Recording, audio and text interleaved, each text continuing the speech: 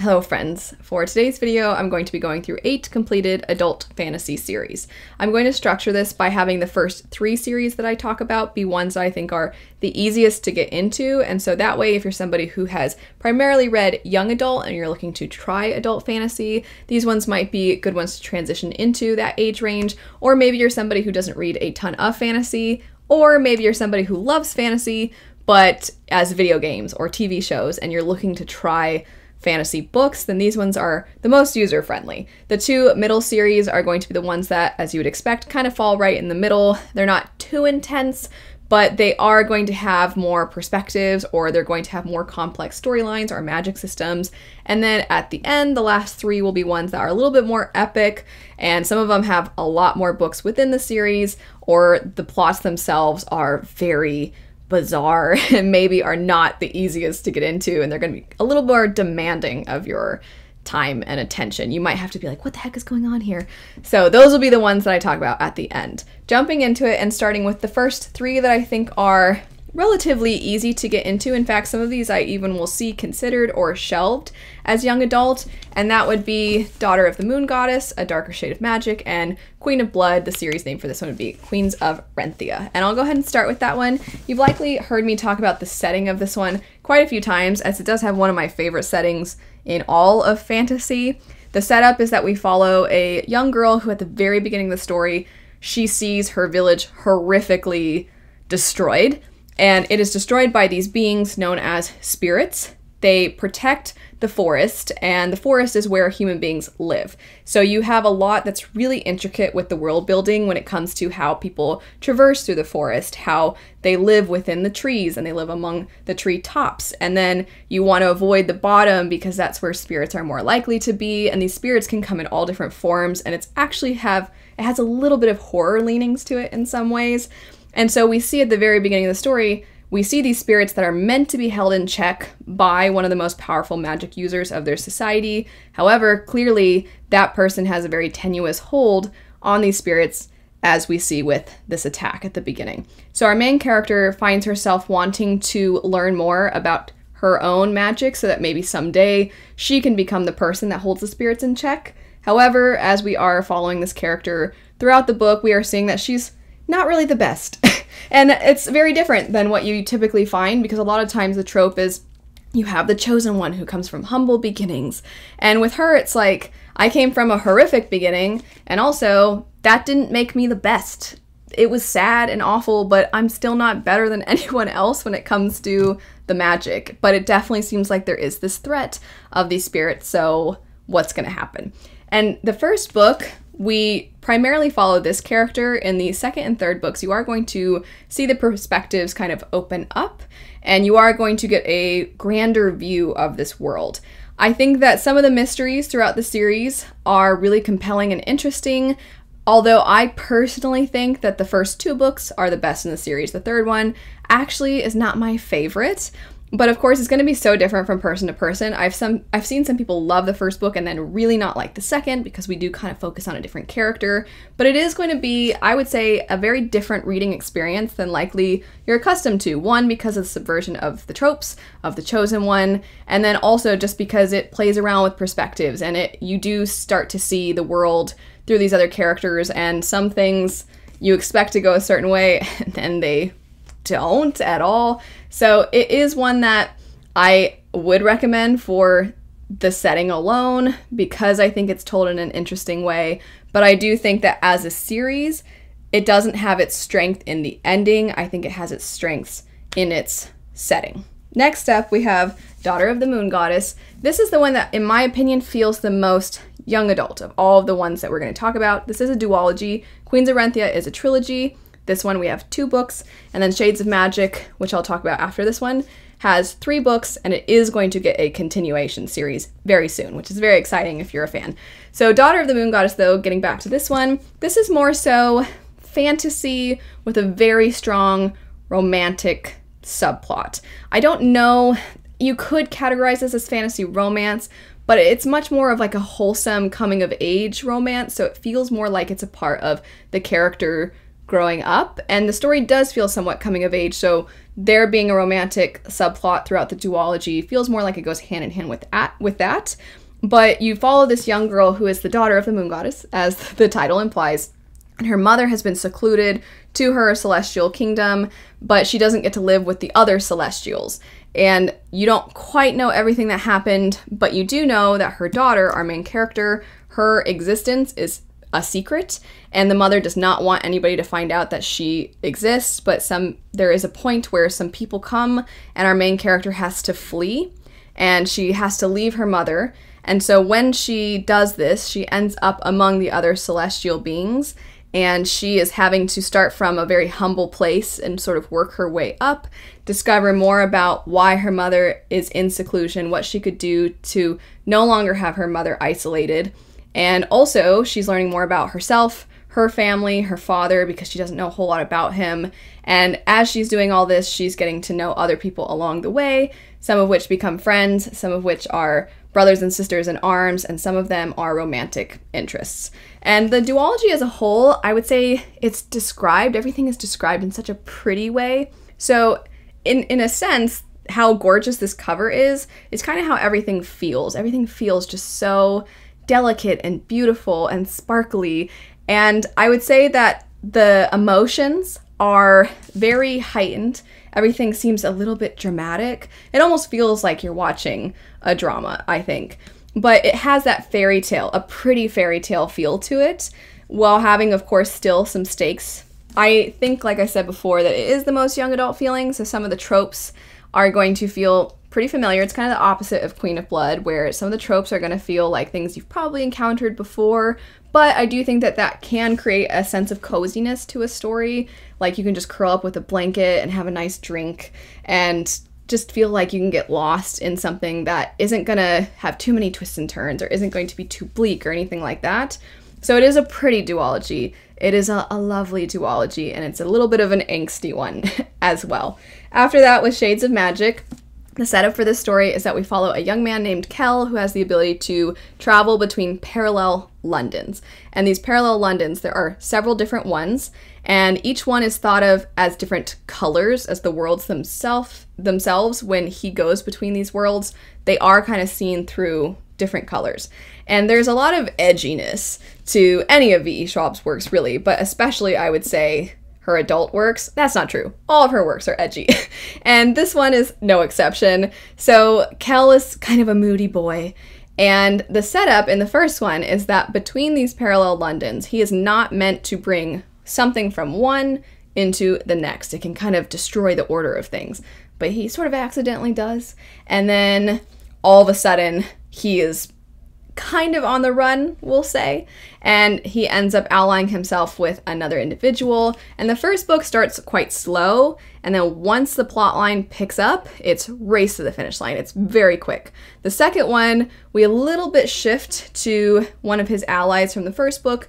They get a little bit more time in the second one. And then the third book, everything becomes so much bigger, the stakes get really enormous, and you start to see another character who has been there the whole time. You're starting to see them a little bit more, as well as zeroing in a little bit on the villain. And it's actually one of my favorite villains in a lot of the fantasy that I've read. It's a very complex villain that once you see, you're kind of pulling the curtain back and seeing what they've been through, then you kind of ask yourself, like, are they a villain? Which I always really like in uh, in fantasy stories in general. So those are the first three that I said are the most accessible. I think the ones that are a little bit closer to young adult. The next two are ones that I just think these are they're not extremely difficult to get into, but they they still have things about them that make them a little more complex. So the two are going to be the Drowning Empire trilogy. So there's three books there and then the Mistborn trilogy. So there's three books in the original trilogy, and then there are four books. So there's a quartet that comes after, and there's also a novella that you can read. So if you like the Mistborn trilogy, you have a whole lot more that you can consume, and all of it's done. So that's nice. I'll go ahead and start with Mistborn. You've likely seen me talk about this a lot, everybody else talk about this a lot. You've seen it probably on lists of great entry points to adult fantasy. I don't know how much I really need to say about it, but if you don't know anything about Mistborn, the setup is that we follow this young street urchin named Vin. She is part of the lower class in society known as the Skaa, and society is primarily broken up between Skaa and nobles. There's a huge discrepancy between wealth and privilege and all of those things. So the Skaa are really at the very bottom and the nobles are at the very top. And then the person who rules over all of them is known as the Lord Ruler. The tagline for the story, and I think you'll even see it printed on the UK covers, is What if the Dark Lord won? So the idea is what if back in the day there was a chosen one and they failed? And what would that world look like? And so we're looking at a thousand years into that idea. And that is what you start out with at the beginning of Mistborn.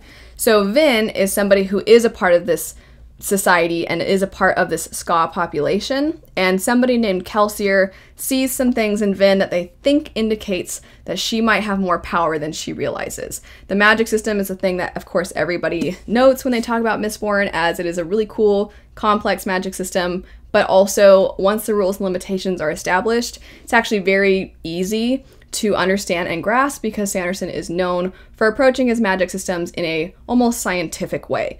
And so the idea is that people can ingest metals and certain individuals have a power derived from specific metals, and those individuals are called mistings. Then you have mistborn, who are people that have access to all the powers that can be derived from any of the metals. And those are some of the most powerful beings in society. And Kelsier and Vin and a ragtag group of other characters come together because they think, you know what? We're tired of the oppression. We want to see if we can take the Lord Ruler down.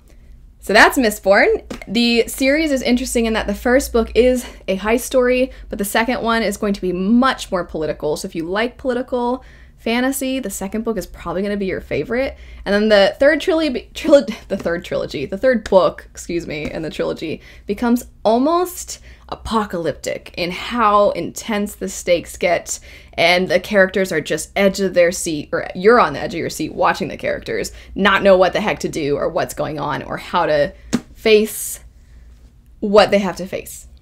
We'll just say that. So it's a fantastic trilogy. I think as a whole, each book adds something to the story as a whole. Each book has its own sort of almost subgenre of fantasy that it is really dwelling in, which I think is fantastic.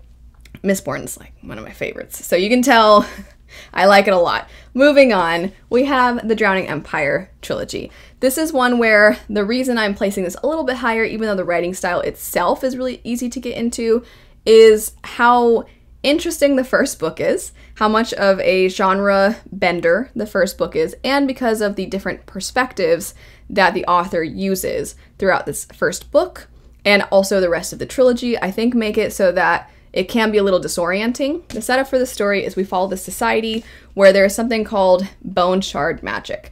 And a lot of people are forced to give pieces of their bones to their emperor. He then uses those bones to create beings known as constructs who will obey him because he writes commands into these bones. And so then these beings become like his spies, his soldiers. They serve him and they serve him very loyally. But anytime a construct is made, the pieces of the bones, anybody whose bone is used for that construct, then becomes sick. So a lot of society doesn't really like this setup. They don't really like this shard sickness that they get.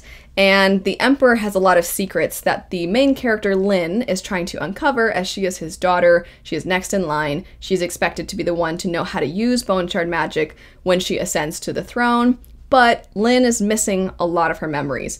And so there's a lot of a mystery going on with her perspective. You also follow a couple of other perspectives that are involved with society and politics on a smaller level than the Emperor. Then you have a character who is traveling around looking for their missing wife and seeing how all these characters' stories are interwoven throughout the trilogy. I really, really liked. I think that the characters are very easy to immediately feel yourself connected to, which is almost necessary because for quite a while in this book, you will likely be a little bit confused.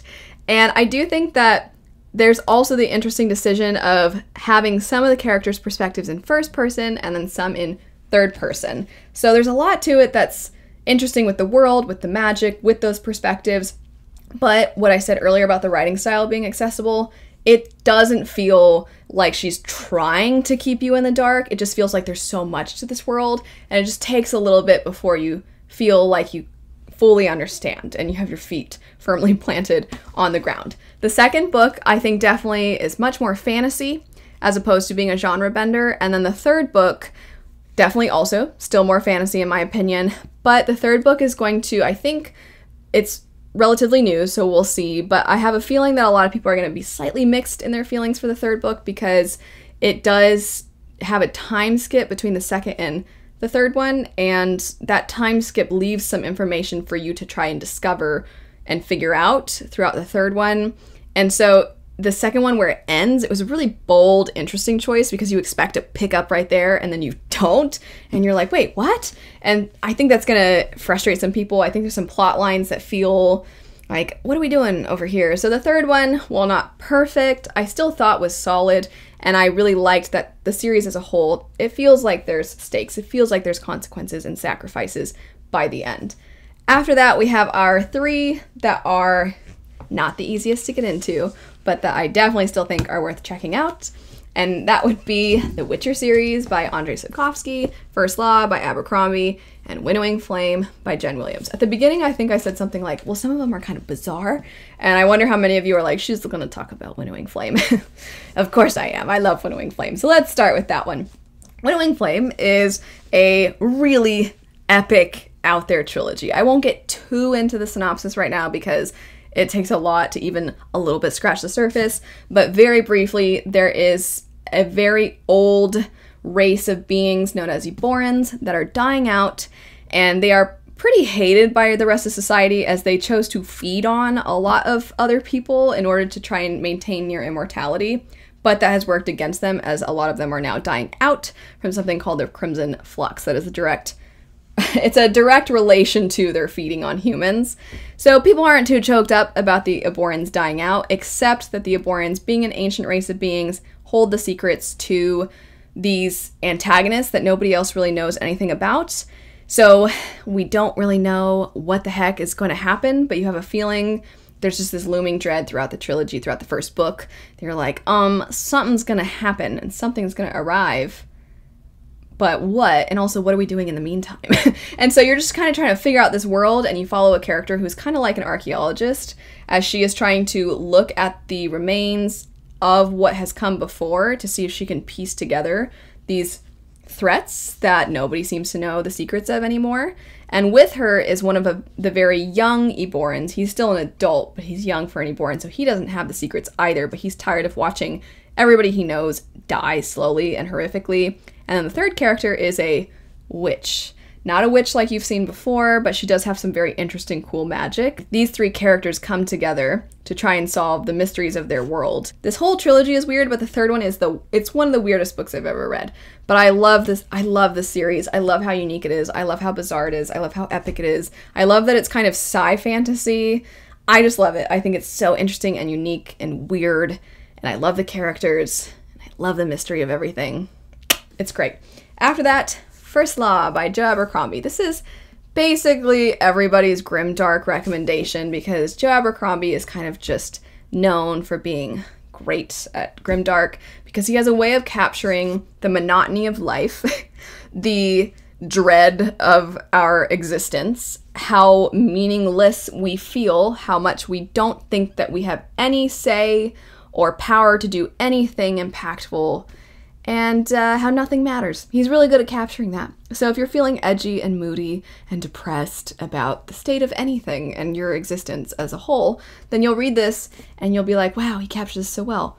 While also making you laugh and having really morally gray characters that somehow you absolutely love and are some of the most notable characters in any fantasy series. The first book, for the longest time, you're kind of probably to be like, what are we doing? What is what's the plot? There really isn't a whole lot of a plot. I think this is one of those series that people told me when I was reading it that the plot is there in hindsight. And I feel like that's a weird statement, but it's kind of true in that once you get to the end, you're like, I think this was the purpose. I don't know that I agree that there's a plot in hindsight. I think you can say I knew some of what certain characters were going for, but that doesn't it doesn't really feel like there's ever something driving everybody. There's no antagonist that you're like we must bring this person down. It's not mistborn with the lord ruler. So the first book you're just like all right i guess i'll just follow these people i suppose. The second book was my favorite because you actually get some plot lines that are coming together and you're seeing characters interact with each other and it is very amusing and entertaining. And you start to see characters grow and you're like oh look at them. And then because it's because it's Joe Abercrombie, you're like, except for nobody ever changes. And it's also disappointing and aggravating, but funny. And then the third book, you're just like, nothing matters. Gosh darn it. But in kind of the best of ways. It's one of those series endings that I'm like, I just, I don't love the third book, but I respect it. You know? and sometimes there's days where I'm like, it's actually brilliant because it's true, nothing matters. And then there's other days where I'm like, there should have been something more satisfying. It's just it's one of those where it definitely brings about I think a lot of feelings, some frustrations in you, but in a way that it's very self-aware. The last for today we have the Witcher series. I know because of the Netflix show and the video games, it seems like it would be a great one to have be more accessible because there's other areas where people already are somewhat somewhat familiar with this series, but I don't know if people realize one how weird of a start this series has and two, just how little you actually get of the main characters in this. So the first two books are actually collections of short stories, and in my opinion, are the best of the series, if you even want to count these as part of the series. Because I think Andrei Sapkowski is a fantastic short story writer. But this is where you're going to see the beginnings of everything. And then after these two collections of short stories, you have the main series, which is made up of five different books, and then you also have a sidequel prequel sort of story that comes after that, but the events of that take place sort of between the short stories, certain ones, and the main series. Also, the first collection of short stories is not told in chronological order. So it's a lot to try to get into this. And once you get into the main series, you will see you really don't see that much of Geralt, Yennefer, and Ciri. You bounce around between so many different nobles, elves, random people, random creatures. You just you go to so many different areas and you stay with them for a super long time. And you're like when the heck am i going to get back to my main characters that i like? So all that to say i still really like this series. I think that Sapkowski does a fantastic job of showing what i mean you see so many fantasy books that are trying to be medieval europe and to try to capture somewhat historical fiction that that feeling. And i think andrei Sapkowski really captures the bleakness and the horrors of people in power, what they're willing to do for their own gain, how many lives they're willing to destroy, and how that trickles down to the very bottom of society and what that looks like. And so there are many times throughout the series that you're seeing our characters go through a war torn land and they're seeing what happened in those areas, and it's horrible. But you also have characters that are rather witty and interesting, and you have fantasy elements tied in, and the fantasy elements are very much tied to folklore. So you're going to get grim fairy tale feelings in a lot of these, and a lot of it it gets much darker. It's not pretty. It's not sweet. There are the there's the occasional moment of found family and the characters caring for each other, but it is not the easiest, even just emotionally, to read because of seeing everything that, that transpires. I think he captures the horrors of the world without trying to romanticize them. And I think that I've actually seen him say that he thinks Abercrombie is one of the best modern fantasy writers, and these two I think actually do go well together. I've recommended uh, The Blade itself if you like Witcher, and I've recommended Witcher if you like The Blade itself. So I think that these two pair well together. But again, not the easiest to get into, but I think if you like the show, if you, well, if you like the show, I'm happy for you. I don't like the show. But if you like the show or you like the video game, I definitely think the books are worth giving a try. They are a translated, uh, it's a translated story, so there's going to be some things that maybe are a little lost in translation and are going to be different than what you're used to. His writing style is not necessarily the norm when it comes to Western writing style. So his humor is very dry and sometimes barely there. And sometimes uh, the sentences will feel as though they're going on and on and on and on. So there's going to be some things to get used to. That's another reason it's not as accessible. But I do still think that the Witcher series is worth reading. anyway, that is it for some completed adult fantasy series. Let me know if some that you really, really love. I know there's so many more than just these eight. Uh, I know that there's also plenty of series that we'll be getting conclusions to here in the next year or two, you know, like Stormlight Archive. And so I can't wait for that. But anyway, thanks so much for watching. I hope you all have a lovely rest of your day, and I'll see you later. Bye.